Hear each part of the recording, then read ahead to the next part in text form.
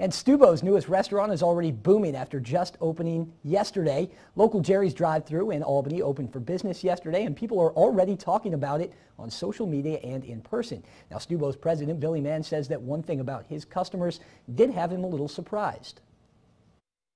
The ratio of people we haven't seen before. It's, it's almost like we're getting a whole new clientele as well as our regulars from the restaurants. So it's neat to see that grow and develop. Well, that is good. Local Jerry's is open for breakfast, lunch, and dinner, so stop by anytime.